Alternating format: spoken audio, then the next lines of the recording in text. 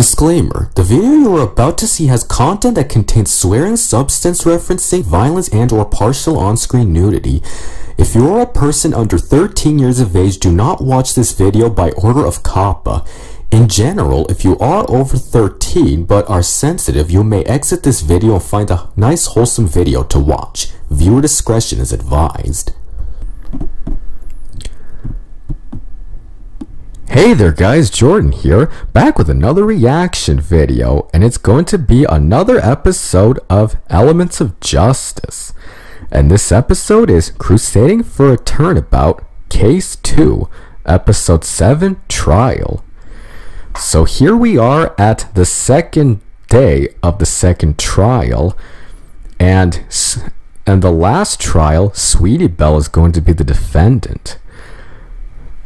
And after a, uh, and Athena was a bit nervous about it. That is until Luna appeared in her dreams and reassured her that she'll be able to help her. And now we're on, and now we're at the trial, so let's see how it goes from this point. And with that said, let us begin.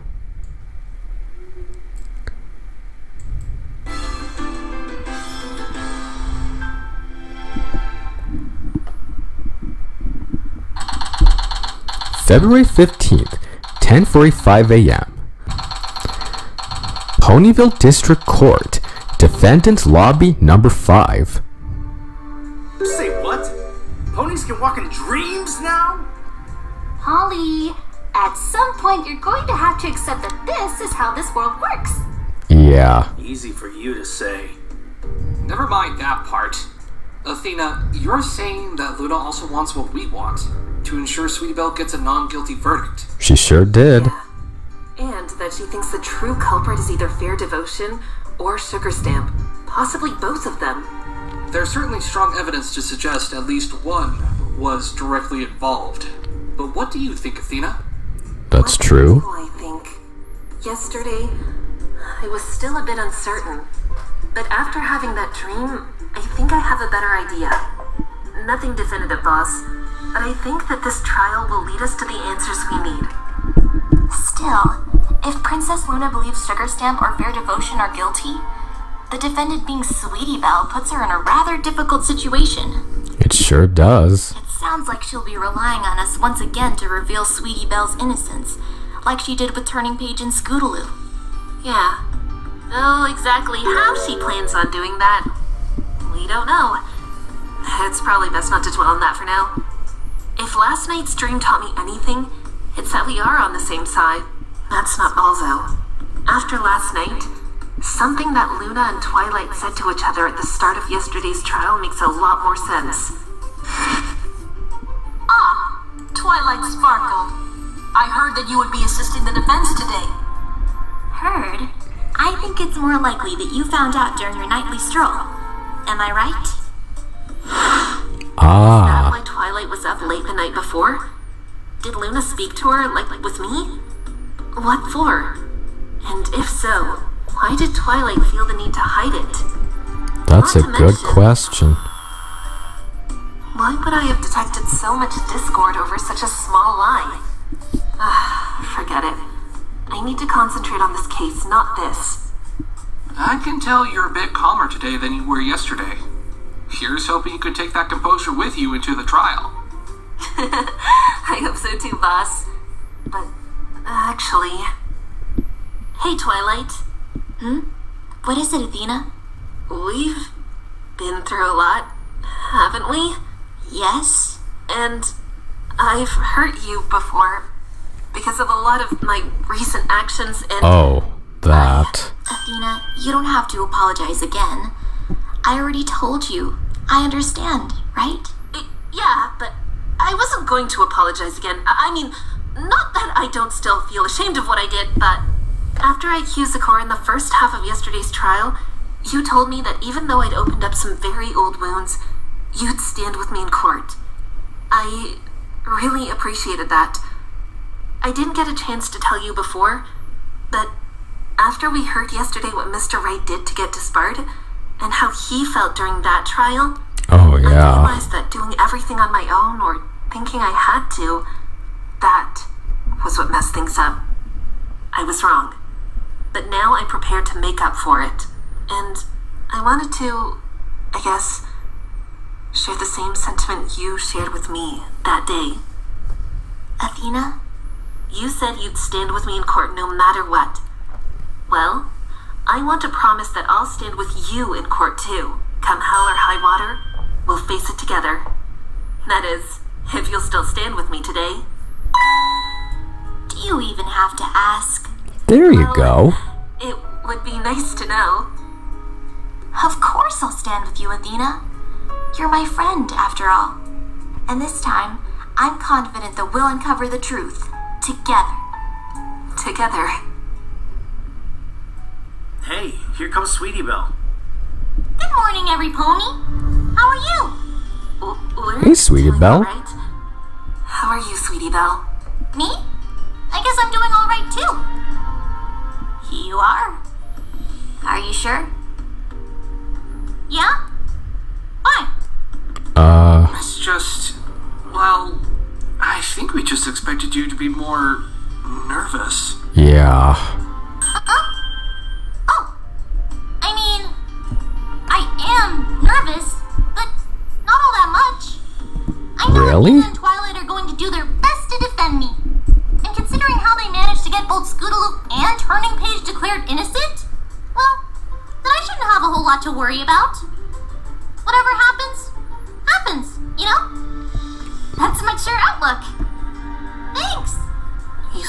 Sweetie Belle? And your heart's saying you believe that too. So maybe you aren't actually nervous. But something tells me that's not because you trust Twilight and me. Pardon me, every pony. Oh. Pr- Private Eye, what what are you doing here? Did Miss Cykes not tell you? Huh? No. Strange. Well, I was tasked with coming here to help her with something. What? Help with something? Private Eye, do you have what I asked for? What you asked for? I do. Though I must confess, I'm not sure why you needed it. Nevertheless, here it is. Is that blood? What? A sample of Royal Order's blood, to be more specific. Great. And just to confirm, you were able to obtain this secretly, correct? Yes. But why was such secrecy necessary, Miss Cykes? You'll find out later, Detective. Thank you for this. I see. Very well then. I'm sure that you'll be able to put this to good use in today's trial. Royal Order's blood sample added to the court record. Yeah, I hope so, Private Eye. I know so, Miss Cykes. Critical thinking is the key to success, after all. Just keep that in mind, and I believe you'll have nothing to worry about. I will. And I'll do my best to see through everything today, Detective. Of course. Now, I had best return to my duties. Take care. I guess I better head in too, right? Yes, that would be for the best. You go on in, Sweetie Belle. We'll meet you inside shortly. Okay. See you guys soon. Okay. Okay. I know you guys have some questions. When did you ask Private Eye to get you that sample? It couldn't have been this morning. Well, I didn't ask him. Sonata did. Huh? After Luna visited me in my dream, I couldn't fall asleep afterwards. I had this feeling that I needed to follow up on a few things, but I obviously couldn't do it on my own, so I decided to leave the castle for a bit and go to Sonata for help. She was happy to assist. That's when I asked her to get Private Eye to obtain this blood sample. That wasn't all, though. Apollo, do you remember that photo you shared with us yesterday? The one with the blood on the trees? Yes. Yeah. Did you ask Sonata for help with that then? Yep. I asked if she could find out whose blood that was. Chances are it's the victim's. But it doesn't hurt to check. And there were two other things I needed her to look into. Two more things? What? The source of the anonymous tip and the location of the remaining suit of armor, the one belonging to the victim that died at the statue. Sonata should be out investigating those things right now. Hopefully, she'll be able to get back to us with her findings soon. Excellent work, Athena. I'm glad you're keeping on top of things. Ah, boss. Thanks. But why did you ask her to do all of that? It. It has to do with something I thought of yesterday, after I had my dream.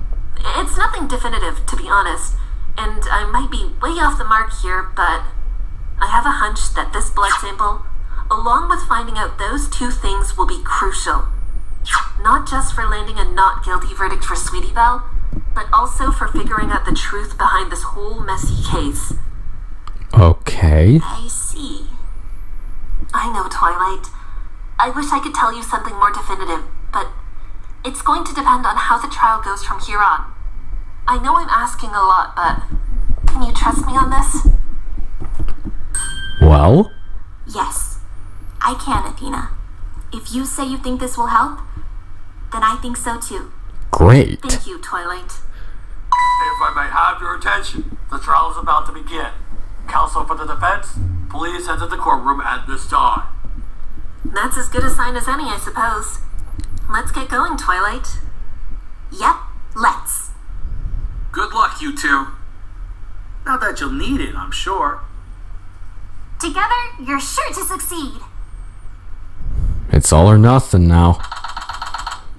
February 15th, 11 o'clock a.m. Ponyville District Court. Courtroom number 5.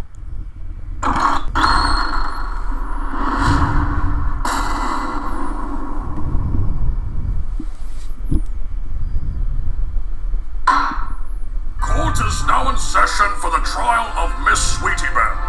Are the prosecution and defense ready? The prosecution is indeed ready, Your Honor. The defense is also ready, Your Honor. And there's Prosecutor Luna again. It's strange. Even though I know her role in all this, I still can't escape this feeling of intimidation. I guess it comes with being one of Equestria's rulers. But, like Twilight, I'm also worried about what she has planned. That's true. I know we're on the same side, but that doesn't mean I know exactly how she intends to set Sweetie Belle free. Yesterday, I expressed sorrow at the fact that more children were involved with this case. To think, we must add yet another to it. Yeah. The day exacts a heavy toll on us all. You can say that again. Nevertheless, I will reiterate my position as a neutral judge presiding over this trial. Prosecutor Luna, you may begin with your opening statement, if you would please. Of course, Your Honor. I would like to first begin by recontextualizing the entire case. Yesterday's trial, thanks in large part to the efforts of the defense, revealed several key facts. One was that on the night of Royal Order's murder, there was not just one victim, but in fact, two the original Royal Order and his clone. The defense postulated that one of them was killed at a clearing in the middle of the Everfree Forest and was subsequently brought to the bridge. The second one was killed at the Nightmare Moon statue before being eaten by Timberwolves. This trial will provide us insight to the truth behind that second death. The blood test that Miss Sonata and Detective Private Eye submitted yesterday proved the statue area bore two ponies' blood. One was Royal Order, but the other was the accused, Miss Sweetie Belle. The prosecution believes she was involved in the second Royal Order's death. Her blood found at the scene confirms this. Oh man. Confirmed she actually killed him, though. Only that she was there at the scene when he died. That's what we learned at the detention center. Where is Luna going with this? If this was all she had, surely she wouldn't call for this trial if she believed Sweetie was innocent. What's forcing her hoof? I see. Prosecutor Luna, do you mean to tell the court that you believe the defendant, Miss Sweetie Belle, murdered Royal Order? Not quite, Your Honor. Huh? Not quite. Uh, what do you mean? To explain that, Your Honor, the prosecution would like to have Private Eye briefly come to the stand. Private Eye? Why does she need him? Very well. The court grants this request.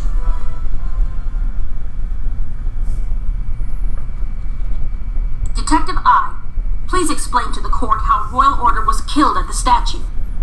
At once, Your Highness. While there are still some facts left shrouded in mystery, our current theory attempts to explain the events of that night, at that particular scene. The victim and defendant were at the statue. Some sort of altercation must have occurred, after which Miss Sweetie Belle was forced to act. Forced to act? Huh?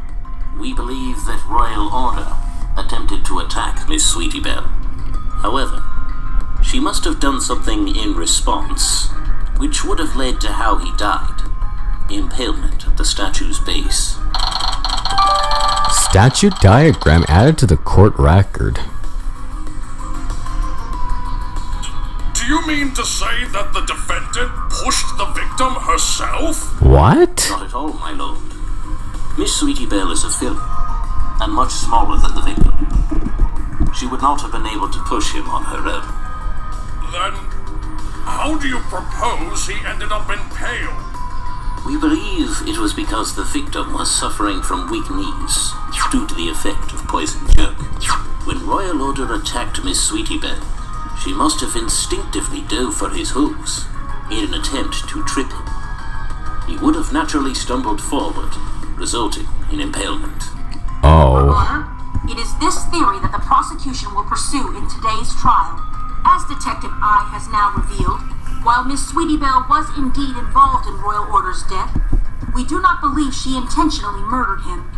Rather, we believe this to be a tragic case of an accidental killing. She did intentionally trip him, but she did not mean to impale him. Uh. Uh. Oh man, that's not good. Jackson! Prosecutor Luna! You make that kind of claim? That is conjecture at best. Miss Cykes, are you saying you do not believe Miss Sweetie Belle was responsible? Of course we are. The defense argues Sweetie Belle wasn't involved in Royal Order's death in the slightest. Great Sweetie Belle. Uh, What? Sweetie Belle? Sweetie Belle, come on! Tell the court your side of the story. Sweetie? Sweetie Belle, why aren't you answering? I believe I can explain that, Princess Twilight. What? See, ever since yesterday evening, Miss Sweetie Belle has decided to exercise her right to remain silent. Correct. Huh? You mean she's acknowledging that? No, I won't accept that. It's not true. I know it isn't. As resolved as you are, you will need more than mere protest, Golden Pixie. Oh. oh. Boy, I totally missed hearing that. So, silence again, huh? Is this another thing Luna set up? Or maybe someone else? The defense does bring up a fair point, Prosecutor Luna. Though it is an intriguing theory, it is still just that a theory. Aware Right.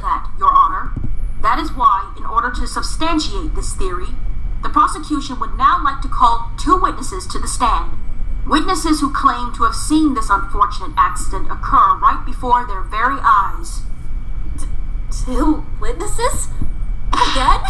Uh, We've just started, but already I've been blindsided. Ugh.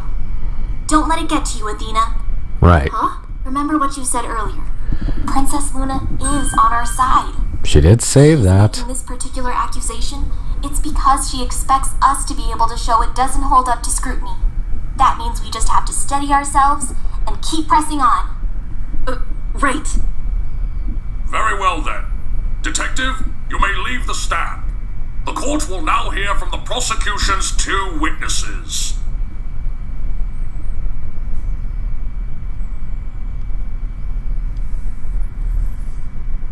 Witnesses, state your names and occupations for the court record. Sugar Stamp, At your service, your highness. I'm a mail pony working for the Crown Courier Express. Wait, she's a mail pony? No, she's not. Oh, Your Honor. She's like a mail carrier. Yes. No? Letters? Oh, uh, right. Oh boy. And your name, witness?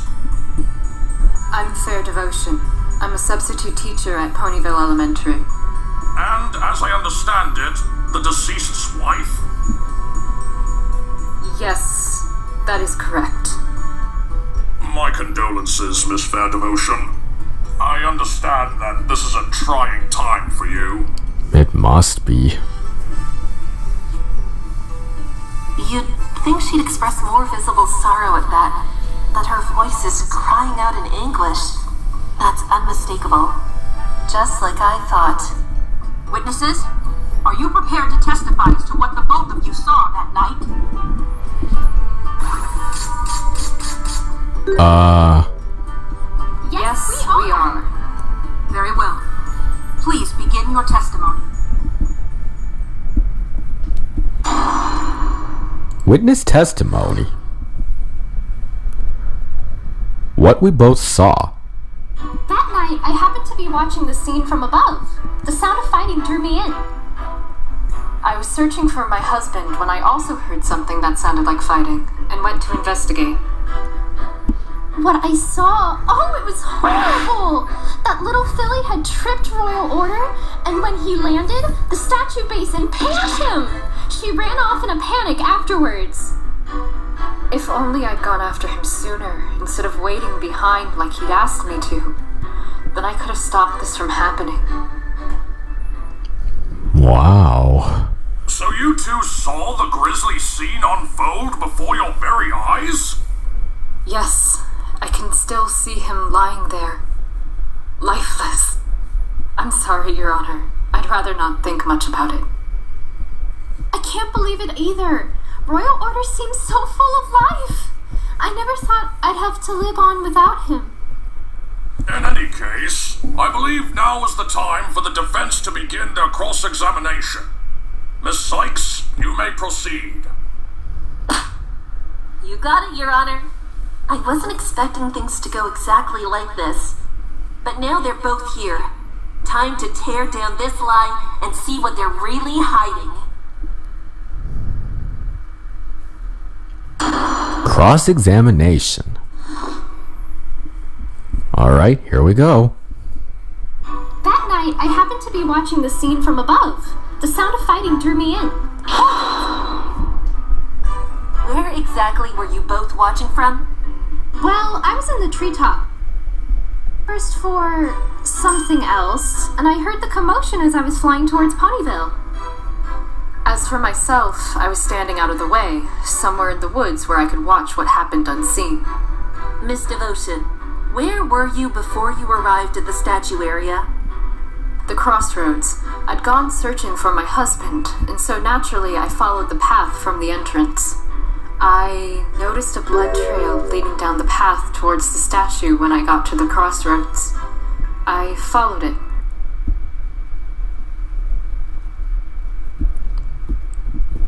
Uh,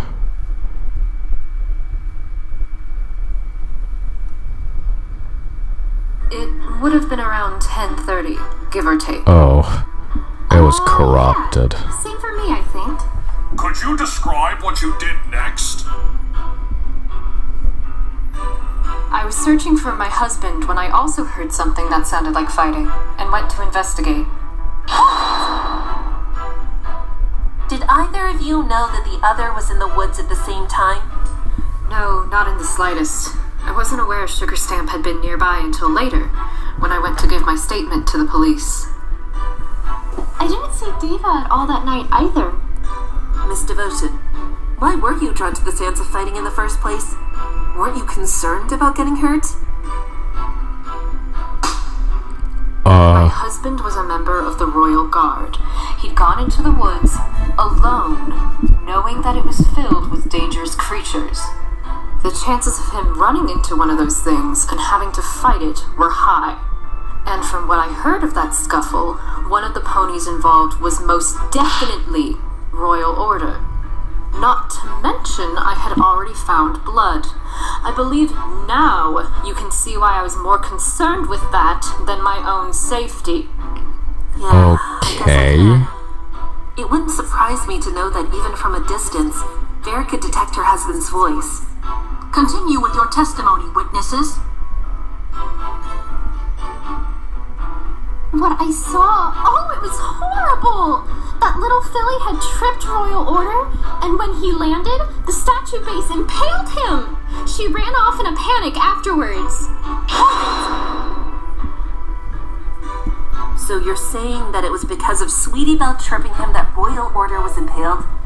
Yes, as horrific as it is to admit, that's exactly what I saw. So that explains how he was impaled. But what about where?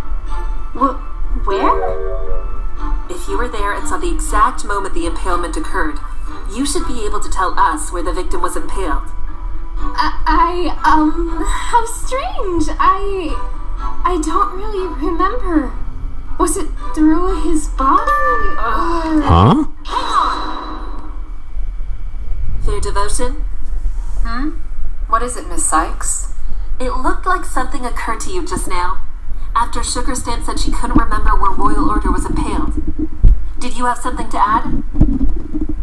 Something like that. I remembered how my husband fell. How your husband fell? Could you explain? From what I recall, he fell face first into the base of the statue. Sheesh. Th- th- that's right. That's what I saw too. And that means. Royal Order was impaled directly through his jaw. My That certainly matches up with what Private Eye laid out earlier. Yeah, it does. Rather cleanly, I might add. But what Fair just did, not saying where he was impaled, but letting Sugar Stamp point it out, it's exactly what Luna was doing with me in the last trial. She's leading her. Which means Witness, please continue your testimony. If only I'd gone after him sooner, instead of waiting behind like he'd asked me to, then I could have stopped this from happening. Fair Devotion, I want to clarify something. The reason you went into the woods was to chase after your husband after he'd gone to look for your son? Yes, that's exactly what I'm saying. Here's where it all begins to make sense. If what I'm thinking is true, the discord in their voices will tell me everything I need to know. Really. Somehow, I find it hard to believe that was the only reason. What? What are you talking about? I am also curious, defense. Surely you don't think the witness is lying about wanting to go after her husband.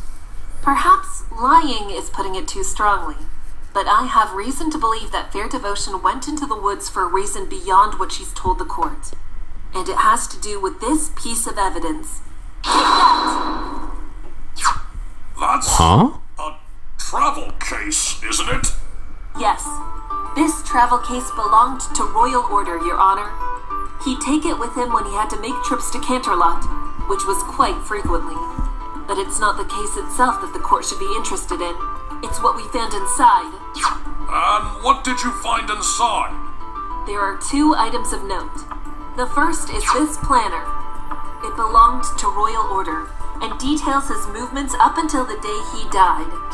The second is this a love letter to Royal Order, written not by his wife, Fair Devotion, but by another pony, Sugar Stamp. Oh, yeah. Sugar stamp? What?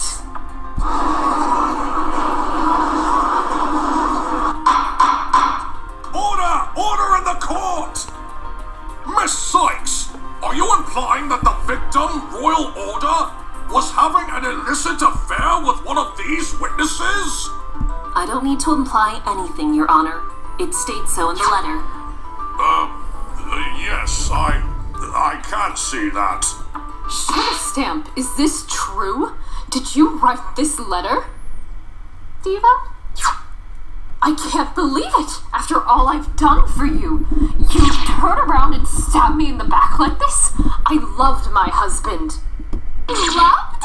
As if you were never happy with him being a royal guard. You hated how he was always working, always leaving you home alone. That was because I thought he was spending all of his time working, not being with you. Well, what can I say? He loved me, and I loved him. The heart wants what it wants. If she keeps saying things like that, Miss Devotion is going to tear hers out. Jeez. Is something up, Athena? Hmm? Maybe. Twilight, do the two of them sound a little off to you? Off? How so? Hmm. Not really. I mean, I'd expected them to be surprised. Especially since Fair outright denied the possibility of an affair yesterday, and Sugar probably didn't think Royal would be holding on to that letter. Why do you ask? Did you notice something? I think so. Interesting. They act surprised and angry, but I'm not hearing any actual shock or rage in their voices. If that's true, then I'm almost certain I know the reason why. Not to mention. Witnesses, you will calm yourselves or be escorted from the courtroom. Prosecutor Luna, what are your thoughts regarding this unexpected development? It's hardly unexpected, Your Honor. We too had examined the travel case in question and found the letter the defense presented. As such, I am more intrigued than surprised by what this opens up. Uh, what do you mean, Prosecutor Luna? As the defense said, the planner belonged to the victim and details his movements up until he died. I suggest you read the entry for the 12th. On the 12th? Let's see here. Ah, February this. 12th. Locate mirror pool. Perform cloning spell. Oh, my word! The mirror pool! That must mean. Your Honor, yesterday we established that there were two versions of the victim on the night of the murder thanks to that mirror pool. It was initially believed he made two of himself to seek out his son, but with the details of this planner now on display, another alarming motive emerges. Royal Order cloned himself so that one version could stay with his wife, Fair Devotion, and the second could be with his other partner, Sugar Stamp.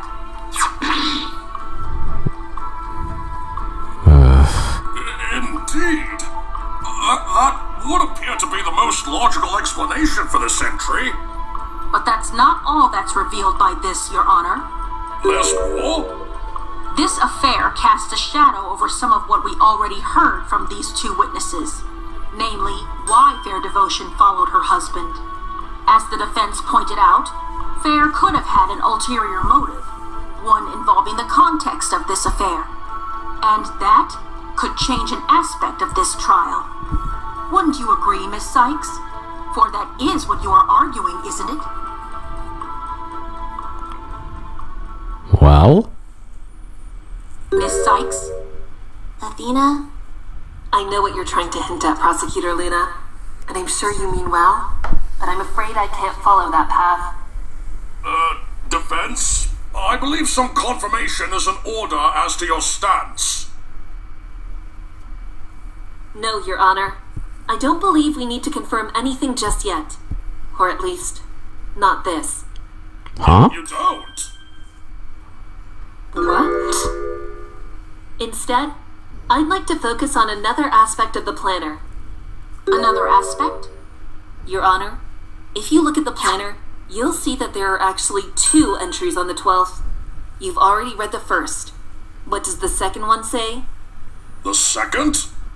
Uh, hmm. Meet Sugar Stamp at Everfree Forest Clearing, 10:10 p.m. As you will recall from their testimony, Fair Devotion and Sugar Stamp arrived at the statue around 10:30. This means that the scheduled meeting with Royal Order would have occurred 20 minutes prior. Yes, I can see that, Miss Cykes. But why does that matter? It matters because in that time frame, Sugar Stamp was not watching the scene as she previously testified. Instead, she was elsewhere. Namely, waiting at the clearing to meet with Royal Order. Oh, you're right. Your Honor, it's important that we account for every witness's movements that night. As such, the defense formally asked to hear further testimony from Sugar Stamp. What? Oh.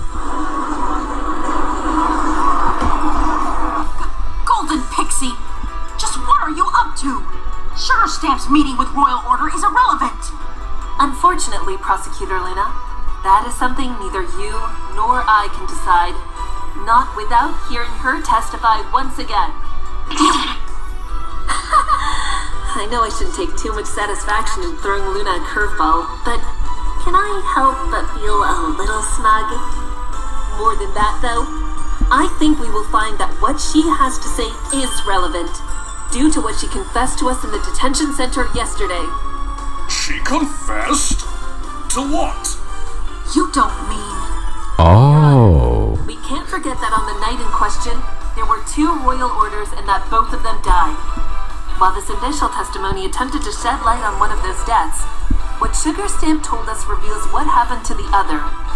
Namely, that he was killed by Sugar Stamp herself.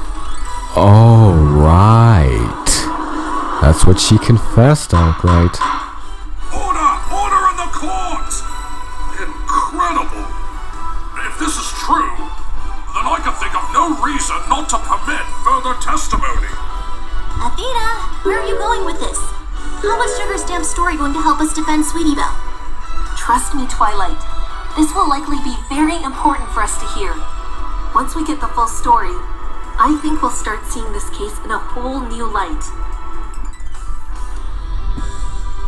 Oh, okay, Athena. If you're that certain about this, I'll stand by you. You better be right about this. Miss Sugarstamp, Y- yes, Your Honor? you will now testify to the court as to your actions that night prior to you running into the defendant. Uh, okay. This should be interesting. Witness testimony. Meeting and killing Royal Order. I went to meet Royal Order at the time we agreed on, 10 10 p.m. We talked for a little bit, and he told me his plan of leaving me with a clone of himself. But when I heard that, I I couldn't think. I I killed him then and there using a letter opener that I carried with me. After he was dead, I removed his armor, then decided to carry the body to the castle ruins by flying it there. Then I flew out of the forest. While flying over the crossroads, I saw Scootaloo crash into the other royal order. After she left, I moved the scooter and wagon to further shift the blame.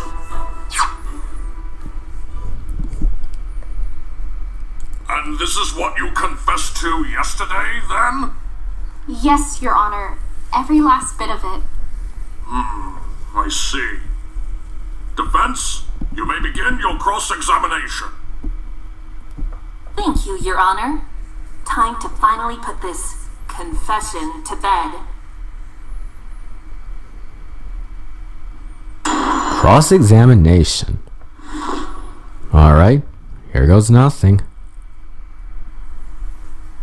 I went to meet Royal Order at the time we agreed on, 10 10 p.m. We talked for a little bit, and he told me his plan of leaving me with a clone of himself. Did you have any idea what Royal Order wanted to talk to you about before you went to this meeting? A little bit. He told me he had an idea as to how we could be together. But you didn't know it would involve clones, right? No, of course not! I wasn't even sure that clones could exist! I thought for sure he'd choose the easier option and stay with me! Oh, I was so mad! So you say. Your heart, on the other hand. Before you met up with Royal Order, did you happen to see any pony else in the forest? Well, I did see the children while I was flying from the direction of the castle to the clearing. The children? Oh, you mean Scootaloo and Turning Page? Ah, And also those two other fillies, Diamond Tiara and Silver Spoon. They looked like they were talking about something really important. Around what time did you see them? 10 p.m. It was just before I had landed at the clearing. She must have seen the blackmail negotiations before they'd gone downhill. Sugar Stamp? Yes, Princess Twilight? After you saw the children, did you see any pony else before you landed at the clearing? No, not until Royal Order arrived. We know already of why she met with him, so questioning it further won't get us anywhere. Witness, continue your testimony. But when I heard that, I I couldn't think. I I killed him then and there using the letter opener that I carried with me. How long after you met and talked with Royal Order did you supposedly kill him? I would say about five minutes after, so around 10:15 p.m. And how did you kill him exactly? Was it just with a single strike? No, no. First, I kicked him in the side to get him off balance. Kicked him? Uh, While he was fully armored? Yes, I had to really put my back into it just to stagger him. It made an awful, loud, metallic sound. A loud metallic sound. Like a clang? Y- yes! That's a good word to describe it. I'd give you candy for that answer, but. Oh. I don't have any on me. It's okay. Stamp. Could you tell us what happened next? Well, I had to act quickly before he could recover. So I. I stabbed him with the letter opener through his right temple. It killed him instantly. That lines up with the autopsy report's initial findings, but how do you explain the other stab wounds found around the same area on his head? The other stab wounds? The autopsy report states that along with the lethal stab wound to the right temple, several post-mortem stab wounds were found in the same location. Miss Stamp, did you stab the victim again after he was already dead? Yes, I did. Good grief! But why would you do such a thing? Were you really that angry with him? I believe I might know why, Your Honor. huh? You do, Miss Devotion? Indeed, though it is a bit grisly. Sugar Stamp, Yes, Diva? you testified that you decided to move the body after you'd killed Royal Order, correct? Yes, that's correct. But secretly moving a body that was bleeding from a head wound would have been difficult. You'd have a trail leaking from him constantly. Oh, that's Hence, true. Why you need to stab him again. Ah. Y- yes, that's right. Uh, can you run that by me again? It's true. I did stab him again after he died, but I only realized he was still bleeding after I got rid of his armor. I had removed the blade to throw it all into the river, you see, and when I came back to the clearing, a pool of blood had collected on the ground. Ooh.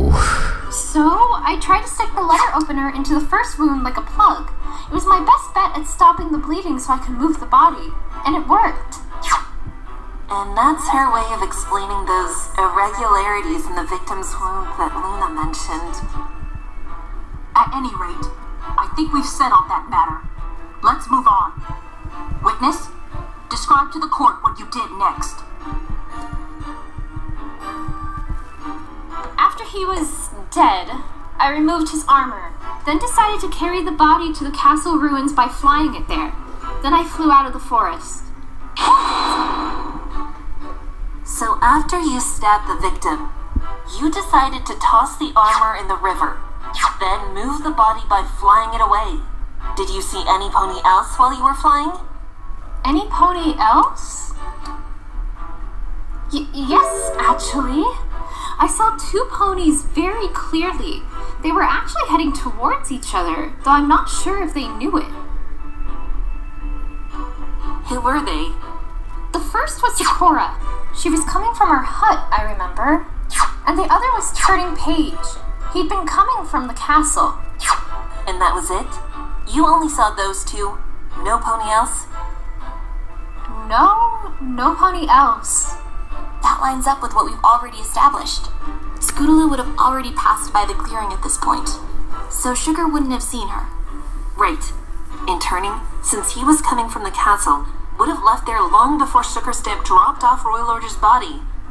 And as Turning Page said in the previous trial, he was the shadow that Zecora saw on her way to the castle. Sugarstamp's story confirms that, too. I'm not sensing any contradictions in her words just yet, Athena. So far, her actions make sense. Or at least can be explained. Yeah. We better move on then. Before you reached the castle ruins, did you stop off anywhere? No, I didn't. Really? Not even at a certain zebra's hut in order to deliver a certain letter? L- letter? Oh. I believe the defense is referring to this one, witness. Obviously, the contents Yeah, of the letter cannot that. be revealed to the court, but the envelope in which it was delivered should suffice. I would like to resubmit it to the court record, Your Honor. The court accepts it into evidence. Envelope letter updated in the court record.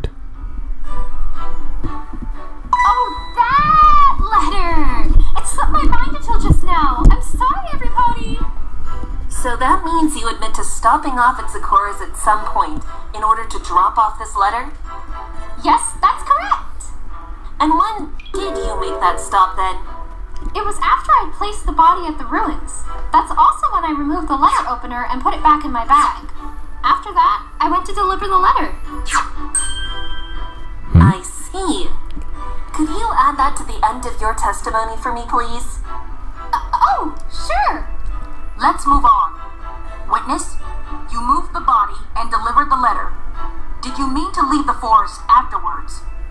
Y- yes, I did, but. While flying over the crossroads, I saw Scootaloo crash into the other royal order. After she left, I moved the scooter and wagon to further shift the blame. But why, though? Why go so far to pin the blame on Scootaloo? That's true. Why would you do To that? be honest, Sugar Stamp, even after everything you told us, I still find it hard to believe that you'd go that far. I mean, I thought you loved kids. I don't think you'd do something like that to any pony, let alone Scootaloo. That's true. It. It doesn't matter what you think. I did it and I confessed, and that's that. Then, why did you decide to move the body and scooter to the castle ruins in the first place? It was because of what I saw before I met with Royal Order the children talking. The blackmail deal. Oh, Knowing that that. Turning Page and his friend had been at the castle ruins, I knew I could pin the murder on them and make the ruins look like the real murder scene. It's what Royal Order deserved after what he did to me. But, defense, while I appreciate your habit of needling into every single minor point in each testimony, my patience is beginning to wear thin. Besides, the witness has already provided a reason for what she did to get back at Royal Order for choosing to clone himself instead of being with her. As disconcerting as that may sound, that is the motive we have been given. Unless you can offer something to refute or change it, I suggest you move on. Fine. I just have one more question, Sugar Stamp. What is it? After you'd moved the scooter and wagon to the castle ruins, you must have flown back towards the forest entrance, passing over the crossroads along the way. But the other royal order wasn't there, right? No, he wasn't. I went to look for him, and that was when I saw what happened at the statue. When she saw Sweetie Belle trip royal order, supposedly. That still bothers me. But unless I can prove that that isn't what she saw, this won't get me anywhere. And Luna knows it. Let's return to the witness testimony. Okay. As for what I did at the castle before I saw the crash, I removed the letter opener and put it in my bag. Then I went to deliver the letter. Oh. Miss Sugarstamp, you're saying that you removed the letter opener, the one that had been stemming the blood flow from the victim's wound, from the body and placed it in your bag? And you did this before you delivered the letter? Y- yes. What? Why? Is there something wrong? You bet there's something wrong with that statement. It's a clear contradiction. A contradiction? On what grounds, defense? The witness clearly described her actions that night. She killed Royal Order, disposed of his armor, and moved the body, letter opener and all, to the castle, all to pin the crime on Turning Page and Scootaloo. Afterwards, she flew back to Zecora's hut in order to deliver that letter. I see no contradictions in her movements. It's not her movements that are contradictory. It's the letter that was in her bag. Or more accurately, the envelope. What about it? Sugar Stamp said she placed the letter opener in her bag after she'd moved the body, and that after doing so, she went to deliver the letter. If that's the case, we can reasonably assume that the letter, or rather the envelope containing it, was also in her bag. But if that's the case, then we'd expect to see something else. After all, look at the inside of the bag. It's coated in blood from the weapon. Yet, when we look at the envelope, there's not a single trace of blood. Oh my god, that's right. Objection! Huh? If that's the contradiction defense, color me not impressed in the slightest. The witness could have simply gotten the time she delivered the letter mixed up. Y- yes, that's it. I must have delivered the letter before I took out the letter opener from the body. So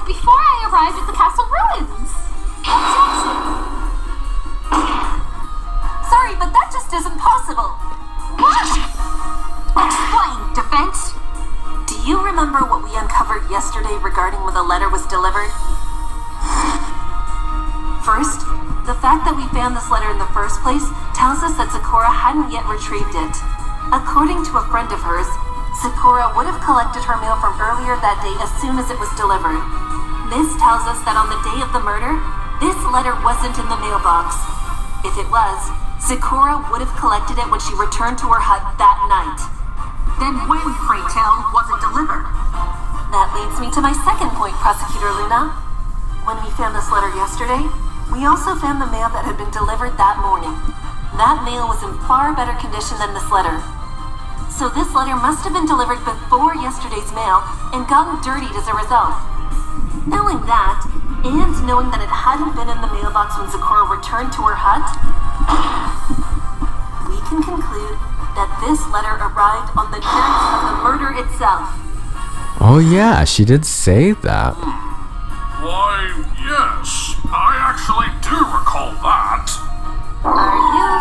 Surprised or something?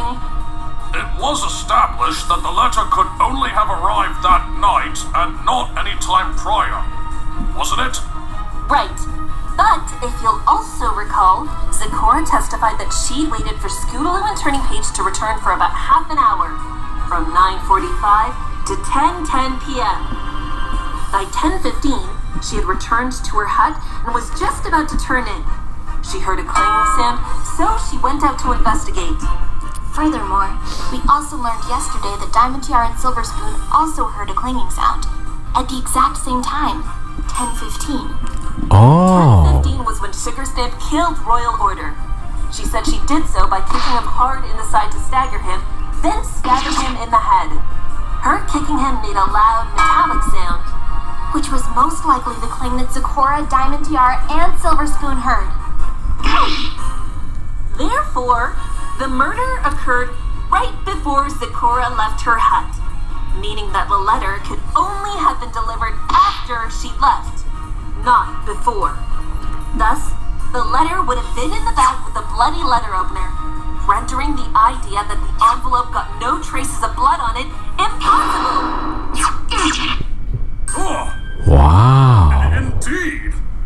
But then, why does no blood exist on the envelope? Defense! You don't mean to say. I do, Prosecutor Luna. Your Honor, we agree that it's impossible for there to be no blood on this envelope, correct? Yes, I find it a perplexing situation. True. and one that we can solve if we just consider one other possibility. At the time that the letter was in the bag, the letter opener did not have any blood on it at any point. It didn't have any blood on it. But how can that be?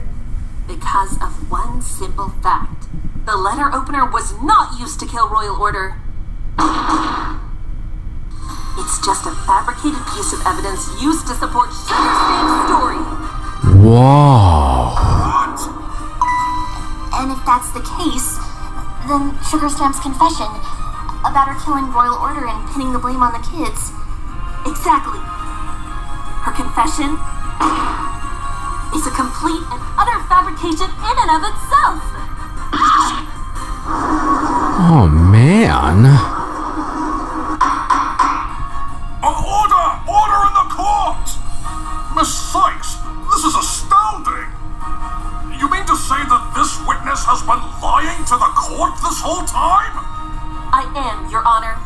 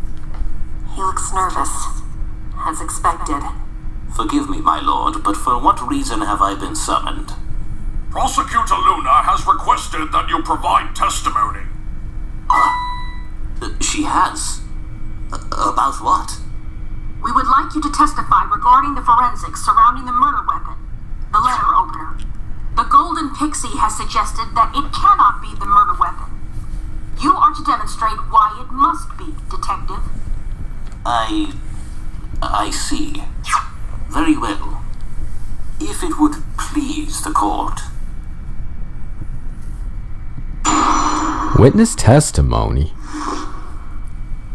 The letter opener. Truthfully, it's a rather open and shut matter. The blood found on the letter opener belonged to the victim, meaning it must be the murder weapon. More than that, though, if you take a look at the head wound, you'll find that it matches the shape of the letter opener. The helmet was found at the river's mouth of Froggy Bottom Bog. It has a hole matching the size of the weapon, further supporting Miss Sugarstamp's testimony.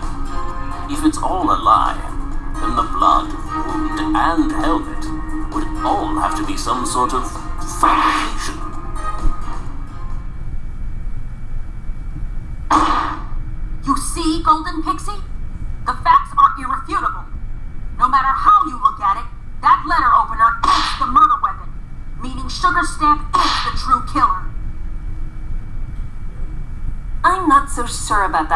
Prosecutor Luna. We've already established her testimony is suspect at best. Wouldn't it be wrong of us to assume all the supposed facts are irrefutable? Oh? So you still intend to go down this route? I do. I see. Thank you for your testimony, Detective. Defense, you may begin your cross examination. Both the hole in the helmet and the wound match the letter opener, and the blood matches the victim's. So, if the letter opener is fake evidence, how would all of that be possible? There's only one thing I can think of. Cross examination. This should be good. Truthfully, it's a rather open and shut matter. The blood found on the letter opener belonged to the victim, meaning it must be the murder weapon. How do we know for certain the blood belonged to the victim? Because, Miss Cykes, several ponies tested it individually. There's no doubting the same consensus being reached by so many. Uh, yeah, I, I guess. Yeah, there is that. Surely you knew this already, Golden Pixie. Why are you insisting on this useless prattling? It's not useless. It's the tried and true method of the Wright Anything Agency. Ahem. Private Eye, the blood may match the victims, but that alone isn't enough to prove that the letter opener is the murder weapon. I would agree with that, Miss Cykes. Which is why. More than that, though. If you take a look at the head wound, you'll find that it matches the shape of the letter opener. So you're saying that the wound shape matches that of the letter openers? How can you be so certain? After we found the letter opener in Miss Sugarstamp's bag in Canterlot, along with the blood, we conducted two tests. The first was the blood test, which came back positive for royal order. The second involved examining the wound itself to look for any notable characteristics which might match a certain weapon. And what were some of those notable characteristics? One was the presence of track marks found in the victim's head. Track marks? Huh? Yes, these are the marks that a stabbing weapon, such as a knife, might leave when it is thrust into a body. If the weapon has a distinct styling to it, it'll leave trace impressions. Within the wound, we managed to find several impressions that match those found on the letter opener in Miss Sugarstamp's bag. Along with that, on the outside of the wound, we did not find a hilt impression. The letter opener does not have a hilt, so that is another match. Though not quite as substantial as the previous one, admittedly. I, Oh. I guess that would be pretty indicative of it being the weapon. So that proves the body was actually stabbed with the letter opener. No use trying to debunk that. The question is, when did that happen? Let's continue. Detective, what else supports Sugar Stamp's confession? The helmet was found at the river's mouth of Froggy Bottom Bog. It has a hole matching the size of the weapon, further supporting Miss Sugarstamp's testimony. But only the helmet itself was found, right? That's correct. But not the armor. Wouldn't the armor be a stronger contender for supporting her testimony? It would. But as I understand it, Miss Sugarstamp testified that she disposed of the entire armor set in the river. Given that we found the helmet at the mouth of the river, it seems logical to assume the rest flowed out into the bog and sank. Which would support Sugar's testimony, but at the same time, it conveniently removes the need to prove definitively that the rest of the armor was there at all. Doesn't it? Ah. The helmet was there, which matches Sugarstamp's testimony, suggesting it's the truth. And if it isn't, if it's all a lie, then the blood, wound, and helmet would all have to be some sort of fabrication. Some sort of fabrication, you say? I assume you don't mean that the helmet would have to be fake. No, that would be a bit much. I suppose I mean that some other aspect of it would have to be fabricated, if not the helmet itself. Some other aspect? Like, say, where it was found? Or perhaps more specifically, how it was brought to where it was found? What? I suppose that could be one way, yes.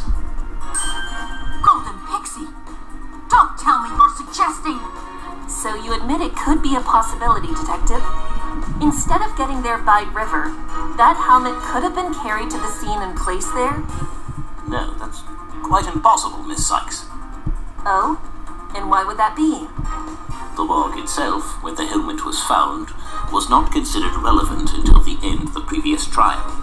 It was sealed off once that was determined. For somepony to have brought it there for us to find, they would have had to bypass that seal. An impossibility, I'm afraid. Is that right? Private Eye, could you amend your testimony and add what you just said? Certainly, Miss Cykes.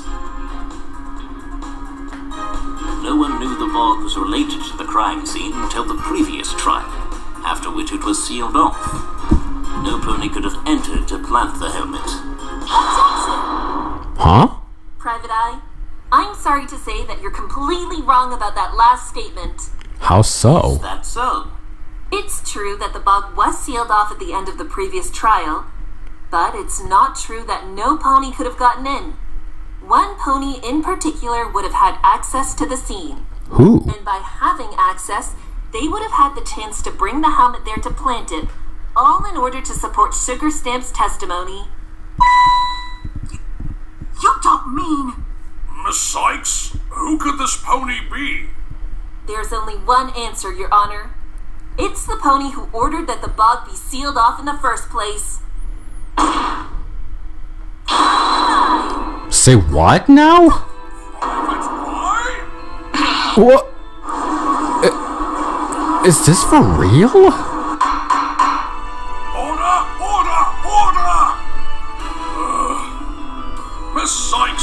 Starting to get tired of these repeated accusations towards every witness. As am I, Your Honor. Not only is this a reckless act, it is completely impossible. Why is that, Prosecutor Luna? You claim that the detective brought the helmet to the bog himself. His fellow officers were on the scene. They would no doubt have noticed if he brought the helmet with him. That's true. They would have been able to notice. But what if they had no reason to? No reason to think he was carrying the helmet with him. What are you blabbering on about, defense? When Private Eye and his team went to the scene, he had in his possession something that he could have used to conceal the helmet. Take that. The. the Huh? victim's travel case? Private was the one who brought this case to the scene that day. He ordered that the forest be sealed off and opened only when he arrived. Meaning, Private Eye could have easily stashed the helmet inside this case prior to arriving at the forest, bringing it along with no one the wiser. Wow. This is absurd! If it's so absurd, then let's ask the witness himself. What in Equestria do you want me to say? Well, why don't you repeat to the court your actions in the force that day, including when you had the travel case with you? That should clear everything up. Not going to? That's fine. I think I've got a good enough handle on your movements to describe what you did. You and your team of investigators first went to the bog. You had the travel case with you because you had taken it from the police station after we requested to see it. Once you got it, you stashed the helmet inside. When you arrived at the bog, and while your team was busy investigating, you planted the helmet at the mouth of the river so that it would be found later. Then, you and your team went into the mirror pool cavern. You placed the travel case there, open on the cave floor, to show us when we arrived. That's how the helmet ended up being planted, and how, as you said, it was a fabrication. And that means that it no longer supports Sugar Stamp's testimony, which itself can now also be considered a complete. Whoa.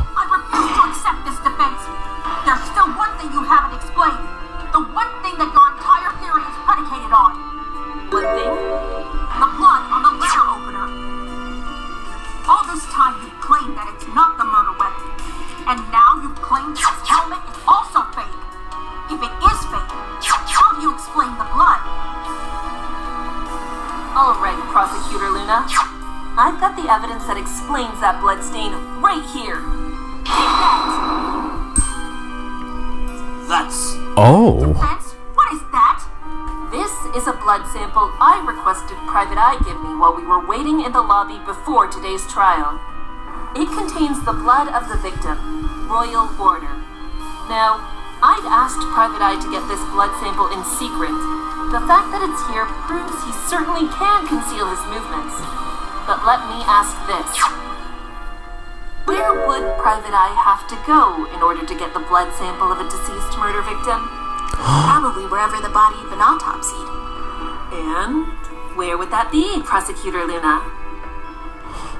Canterlot. Exactly. Oh. Royal Order was a member of the Royal Guard after all. So Canterlot was where he was undergoing an autopsy. And Canterlot? Was also where Private Eye and his team apprehended Sugarstamp, as well as where they discovered the bloody letter opener. If he had the helmet with him while in Canterlot and got hold of the letter opener before arresting Sugarstamp, then it would have been possible for him To put the helmet on the body and stab it with the letter opener, leaving the hole in the helmet and a bloody weapon as proof that she'd killed Royal Order. And that's why the scene was sealed off until Private Eye returned from Canterlot. It was so he had all the time he needed to fabricate evidence to support Sugar Stamp's story. Objection! Whoa. Very elaborate, Golden Pixie. So you say that the entirety of Sugar Stamp's story is a complete lie? One that our dear detective helped to create? I am, Prosecutor Luna. Then what of the planner? Doesn't that support the fact that Miss Stamp really did meet with Royal Order that night? Well, that's what we've been thinking at least. But something about that planner has been bugging me. And what is that? Your Honor, the defense has just proven that the legitimacy of two pieces of evidence, the helmet and the letter opener, have to be called into question. In large part, that is because of their association with Private Eye. This planner also shares that characteristic. It, it does. Miss Cykes, you mean to say.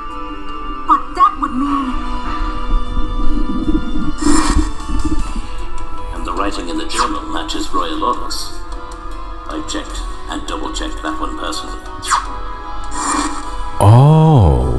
Your Honor, this planner did not undergo testing by an entire forensic team. Instead, it has been tested by only one pony Private Eye himself. Mind blown. Your Honor, at this time, I do not think we can trust this witness's words as to the legitimacy of all the pieces of evidence he's handled. As such, the defense requests that the planner be retested immediately, and the horn writing inside be compared to that of both Royal Order and Private Eye. I agree. That is definitely the best course of action. Prosecutor Luna, do you have any objections? Prosecutor Luna? What? I mean, Well, the prosecution has no objections to the defense's request, Your Honor. Very well. Bailiff, see to it that the planner be retested. Well then, Prosecutor Luna, have the planner and horn writing been tested? They have, Your Honor. and What are the results? Writing in the planner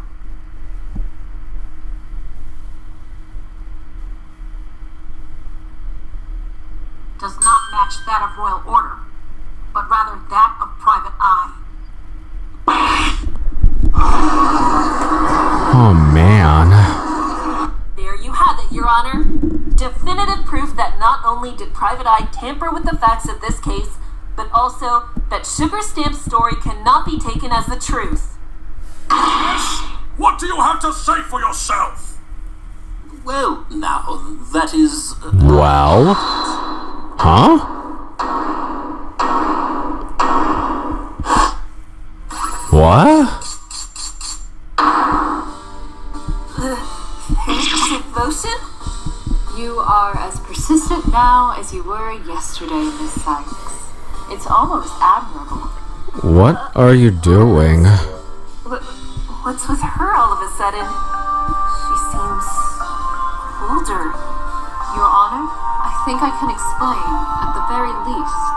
Sugar Stamp's story has so many problems with it.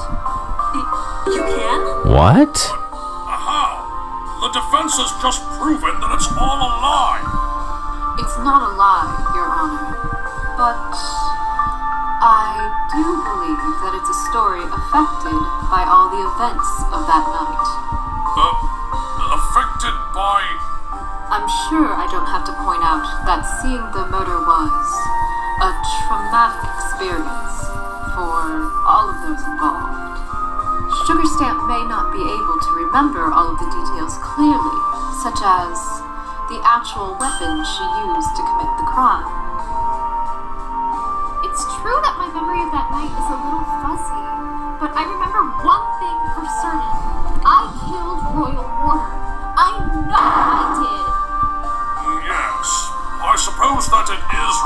reasonable to assume some degree of memory loss occurred. I can also explain the detective's actions, though he'd need to see if I am correct. Huh? Private Eye must have known of Sugar's guilt, but aside from her confession, he did not have the right amount of evidence to support it. With no way to prove her guilt, he decided he would have to take matters into his own hooves. And that's why. I see. My lord, Yes, Detective? it pains me to have to admit this. But what Miss Devotion has just postulated was indeed my thought process. What? So you're saying. You're really saying What?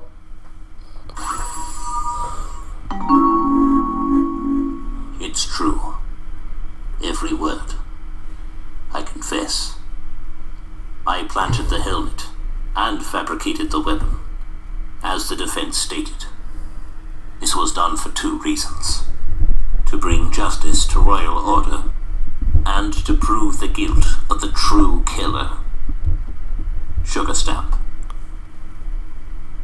What? Uh, this is I- a rather unprecedented series of events, I must admit. I agree. But Where does it leave us? Your Honor, it, it leaves us nowhere, defense. Huh? What? Uh, What do you mean? All this while, you've been focusing your efforts on trying to disprove Sugar Stamp's confession. What we've just heard from both Fair Devotion and Private Eye, however, discounts your entire premise. We're back where we started. But More than that, though, we've gone off on a completely separate tangent thanks to your antics. Need I remind you what this trial is about? This trial. Oh. Sugar Stamp may have Right. indeed confessed to killing Royal Order, but we are not here to determine her guilt on the matter. Today we are here to determine the guilt of Miss Sweetie Belle in regards to her own crime. You should attempt to focus on that and not this other matter. Prosecutor Luna raises a fair point. This trial is about the alleged murder of Royal Order by Miss Sweetie Belle. And as such, we must focus on that case before diving into another. No. I know Sugar Stamp's confession is a complete sham. And I know that her previous testimony can't be trusted, especially if it's reliant on her phony confession. But, but how can I demonstrate that definitively if Fair Devotion and Private Eye have now testified in support of what she said? Defense? Yes, Prosecutor Luna? You appear to be at a loss. Is it really that obvious? Perhaps you and the court would benefit from a quick refresher. Proceed, Prosecutor Luna. Thus far, we have heard testimony from two witnesses, Fair Devotion and Sugar Stamp. They claim to have witnessed the defendant accidentally kill Royal Order at the statue.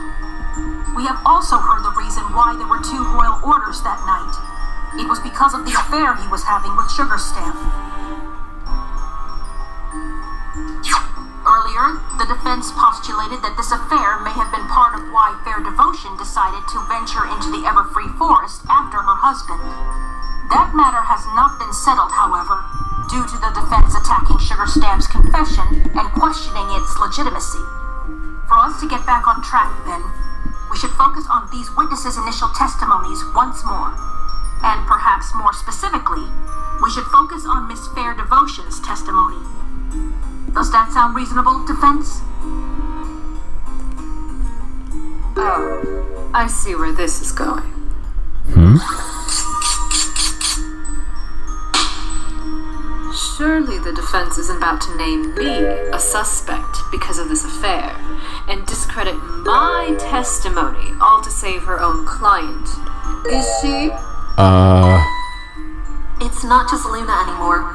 Now Fair is trying to guide me as well. But to have me name her a suspect. Why? Twilight, do you have any idea what we should do? Well, I mean, it seems like we need to hear more testimony in order to back up our claim again. But we can't hear from Sugar Stamp since she'll just double down on her confession. And Private Eyes already confessed to planting evidence to support her confession because he believes it to be true. In other words, further testimony about what Sugar Stamp supposedly did wouldn't help us. The witnesses or the prosecution could easily back up her confession. Right. So, maybe if we heard testimony about something else that happened that night? From some pony else? Something from some pony else.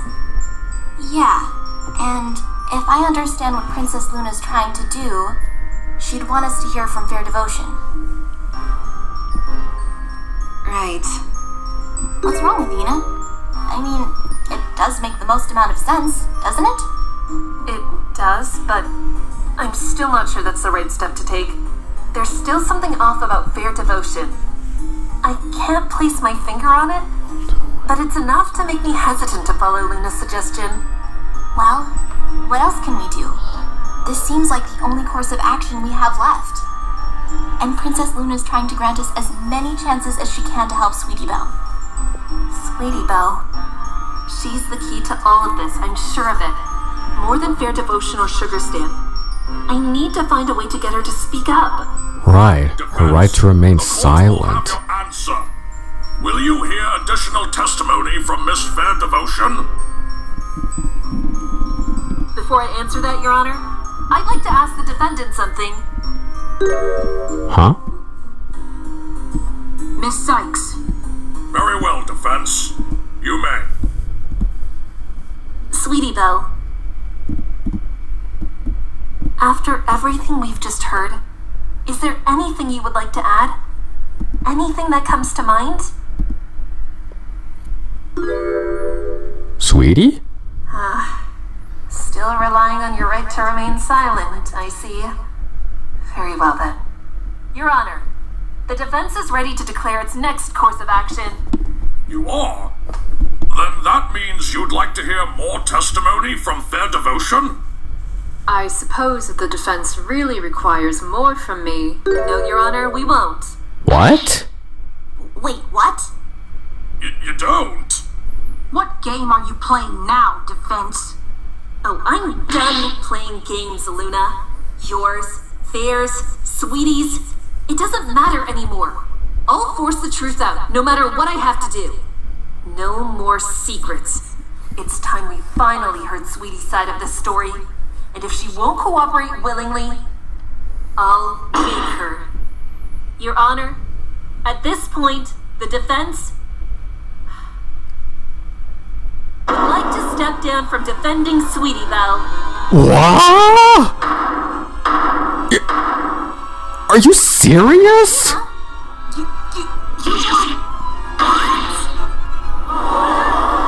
Oh my god, are you serious?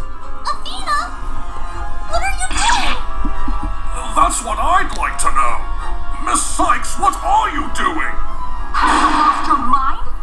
You can't just step down now! Actually, I can, Prosecutor Luna. I retain the right to decide who I defend and who I do not. But you can't! What's gonna happen to me if you don't defend me? I'd imagine that you'll be found guilty, thanks to the testimonies of Sugar Stamp and Fair Devotion. Miss Cykes, don't you think this is a bit rash? Diva's right. You, you can't just quit now. Fair Devotion, you've already testified to having seen Sweetie Belle accidentally kill Royal Order. The same goes for you too, Sugar Stamp. Neither of you can back out now. Objection! Athena, you can't do this to Sweetie Belle. She's filly, for goodness sake. Have you thought this through at all? I have, Prosecutor Luna. Believe me, And I can assure you that this is the only way for us to find the truth. The real truth. But abandoning her. If Sweetie Belle is willing to testify, then I'll remain as her defense. But I can't help some pony who won't even help themselves. Hmm. Miss Cykes. Please, Prosecutor Luna. I know this seems reckless of me, but I can assure you, I know what I'm doing. I know this is the way forward. The only way. Please? Trust me. I. I will try, Miss Cykes. Even you, Princess Luna? I am sorry, little one, but she raises a fair point, and it appears you must make a decision. You testify, or the defense formally steps down, and the prosecution does its duty.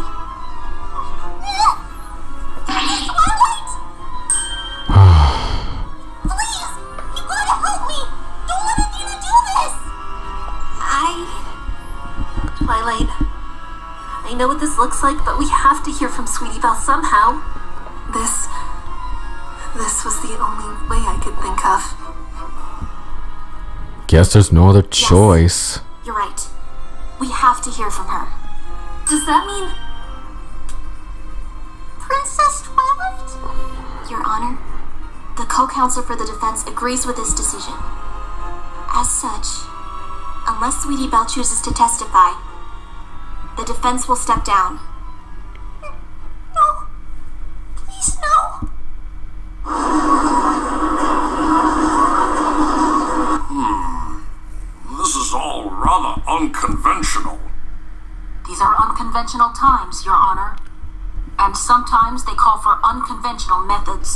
True. So they do.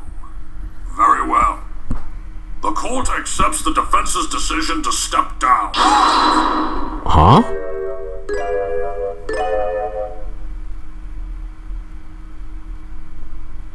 Fine. I'll do it. Sweetie? I'll testify. Oh.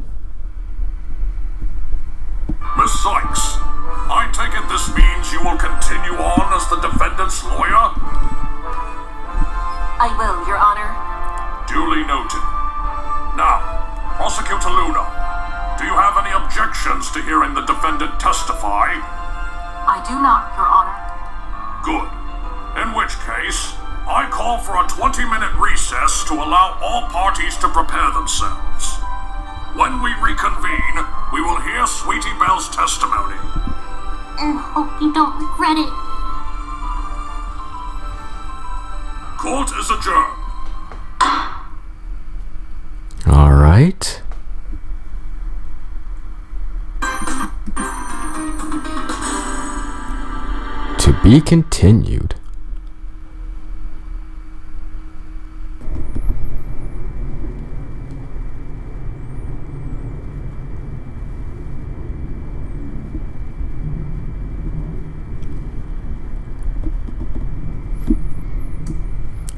Voices. Phoenix Wright, Julius Gem, Stephen Wright, Athena Cykes and Widget, Ed Oxographist, Apollo Justice, Web Shoulder, Trucy Wright, Kaylin VO, Sweetie Belle, Twilight Sparkle, MLP Arts.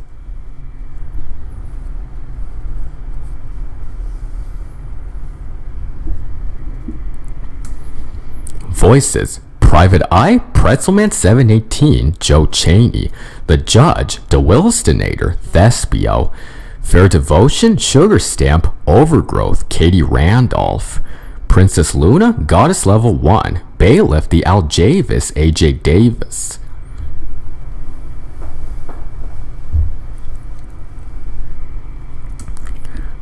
Audio engineers, the sound man Levi Francis, team leader, Joel, Mr. Gentleman's Be- Benjamin Dale, SKVA Sneha Kumar, Pink Escapade, writers Destro VA, Caleb Del Rosario, team leader, Serenity, Everett Toes, J.M. Boot, James Boot, Jarvie Jared, Jared Berberabe, Berberabe, Andrethist, Andrew Church.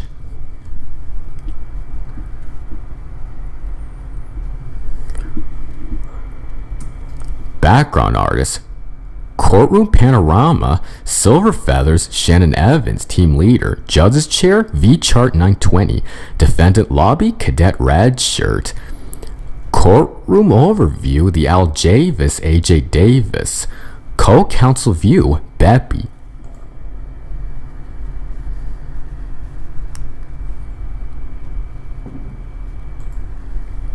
Video editors Brunowski Inc., Bruno Bermedo, team leader, Doc Nguyen, Henry Nguyen, Ghost, Michael M., Tragic Wonder, Elliot L., The Joker, Kevin Randolph, Jacob M., Jacob Majewski, 123 Con- Honor Poop, Connor Rolfs, MLPMV guy, Jabril Slade, team leader, animation riggers. Silver Feathers, Shannon Evans, Cinder Clouds, Doc Nguyen, Henry Nguyen, Eon 333, Lucas Furmanek, Pink Escapade, Pretty Pegasus Wings.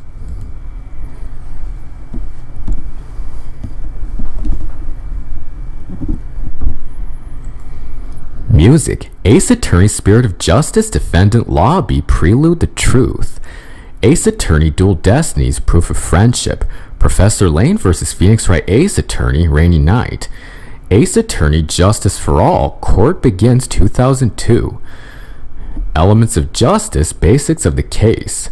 Professor Layton vs. Phoenix Wright Ace Attorney Fiery Witnesses.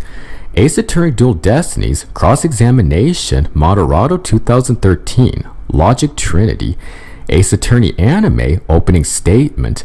Ace Attorney Spirit of Justice Courtroom Revolutionaire 2016. Ace Attorney Dual Destinies Pursuit Keep Pressing On Variation Cross Examination Allegro 2013.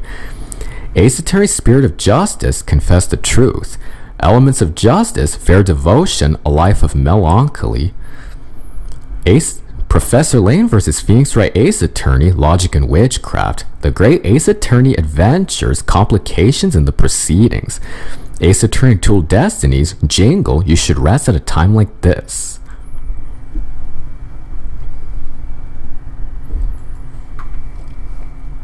Apps used Adobe Animate, Adobe Audition, Adobe After Effects, Adobe Photoshop, Vegas Pro 17, Autodesk 3ds Max, Toon Boom Harmony Premium, Clip Studio Paint EX, Paint Tool SAI 2, GIMP 10.2, Audacity, Plural Eyes, Melodyne, FL Studio 20, Swivel.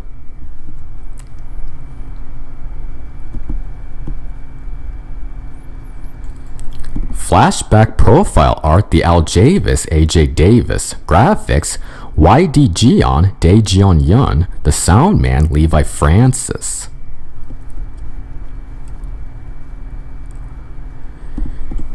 Ace Attorney Models 3D Models Ace Attorney Spirit of Justice Retexturing Shannon Evans and AJ Davis Trucy Wright The Al Javis AJ Davis Athena Cykes Silver Feathers, Shannon Evans, Phoenix Wright, Apollo Justice, The Judge. Automation Pipeline, 123 Connor Poop, Connor Rolfs. The Sound Man, Levi Francis. Pretzel Man 718, Joe Cheney.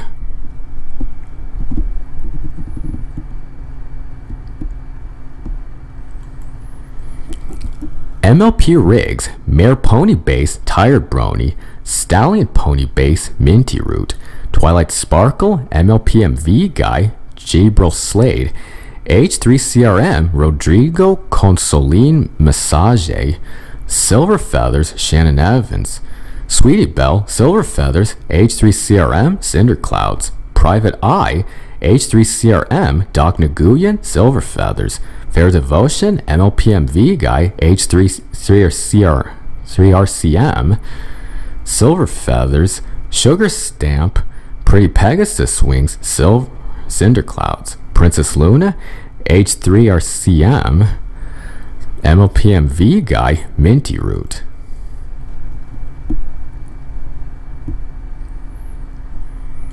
Managers The Sound Man, Levi Francis, Head of Production, Destro VA, Caleb Del Rosario, Head of Pre Production, Ending credits theme, Message, original song by Ray Yasuda, performed by Shannon Evans and Katie Randolph, translators by Kanono, Jane Red, Nami and Triff. Instrumental cover by Brian Bryan. Video and art by Dae Jeon and AJ Davis and Levi Francis.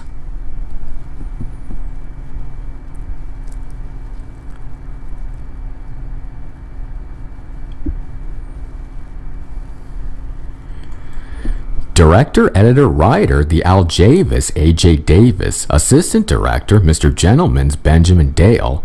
This fan-made sequel is based on Neo Artemis's original series Turnabout Storm. My Little Pony Friendship is Magic and Phoenix Wright Ace Attorney are owned and copyrighted by Hasbro and Capcom respectively. This is a non-profit project that takes no ownership of their characters or soundtracks in this movie.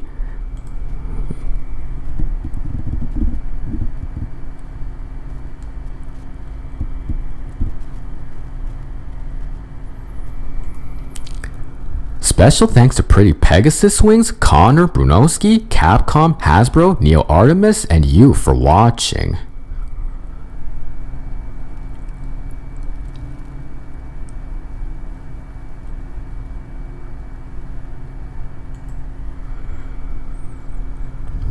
Alright, so that was the second part of the second trial.